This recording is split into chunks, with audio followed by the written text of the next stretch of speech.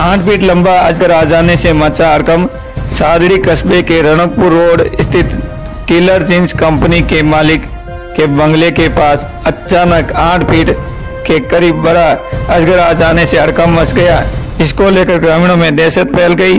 सूचना मिलने पर वन्य जीव प्रेमी मौके पर पहुँचे और अजगर का सुरक्षित रेस्क्यू कर ऑपरेशन किया और वन विभाग ने उसे वन्य अभ्यारण्य में छोड़ दिया।